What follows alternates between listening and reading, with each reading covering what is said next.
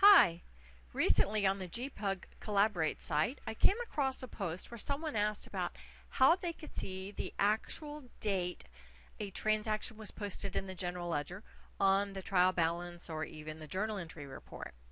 And there was a response from another partner who gave, who was actually very great, that uh, they said you could go into SmartList, like I'm doing now, in the financial series, account transactions, and you could add the column called originating posting date.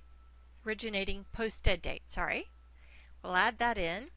And then you could see the actual date something was posted. So you could see transactions that I posted, for example, on April 29th and the 26th and so forth. I'm going to show you a different way to do it though.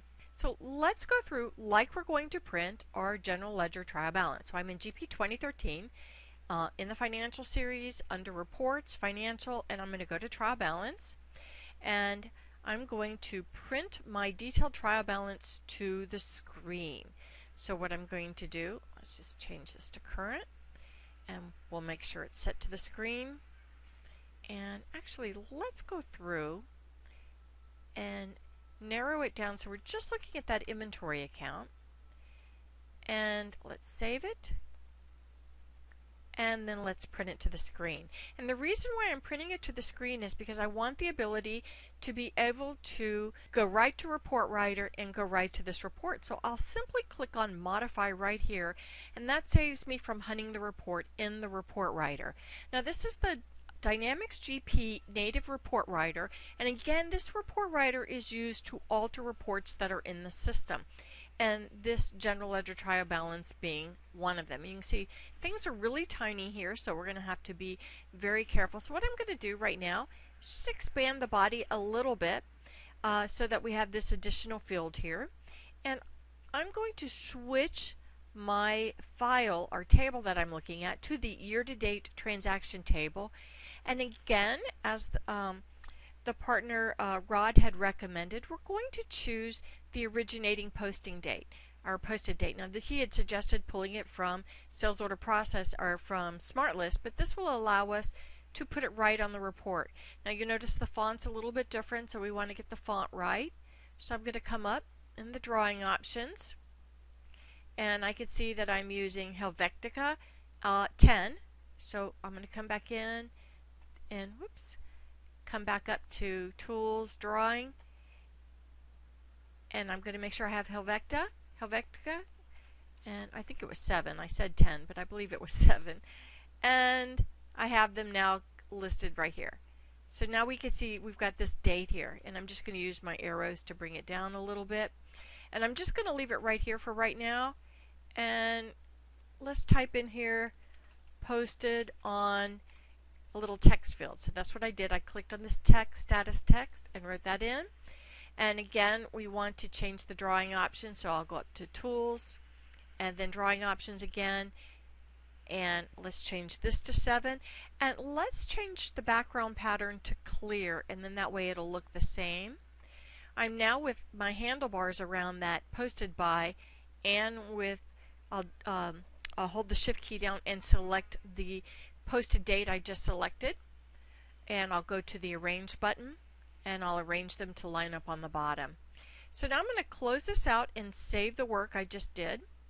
And if we look at here, we can see that it is not set up as a text report. This is actually a graphical report. That's why I was able to change the font.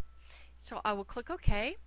Let's go back into Great Plains. Now if you modify a report of any kind, what you're going to need to do at that point is make sure you grant security. So I'll go into administration on my administration tab and what I'm going to do then is choose the alternate modified forms and reports. So I'll do a lookup and right now I just have everyone set up in um, the default one. I'll leave the product type for all products. I could go though and select Microsoft Dynamics GP if I want. The type will be reports because it was a report I modified. And I'm going to then just choose financial reports. And I will open that up. And that was the multi-currency trial balance detail I modified. And I want to change the security for those users from the one out of the box to the modifications I made. I'll save that, close that out, and now I should be able to go back and reprint my trial balance and see that information. So under my financials, whoops, let's pull reports back up, go to trial balance. So let's also go in and add the general ledger transaction date we want so that we won't have to dig so much. And now let's print this to the screen. And you can see we have our posted on and the date it was actually posted right there on the spot. And you could do the same with your journal entry reports as well if you like. You can even go so far, if you want to add a little bit more to that, and put down the user who posted. So we could come back in, if that's in the year-to-date transaction file, and we'll scroll down and we'll put the user who posted it out there. Again, Let's go to Tools, Drawing Options, Helvetica, 10, Clear Background. Let's align it. So they're all aligned on the bottom. And actually, let's make these just a little bit wider so we can see them better. So I'll copy one of the ones up above and I'll say make it to the fattest thickness and now we should be able to see it better. Since security is already granted, I do not need to go back in and grant security to that report. So I'll go back into the financial series, display my reports, go to trial balance, whoops, insert, and print. And now we can see not only was it posted, on what day, but who posted it. I hope this helps. Thanks.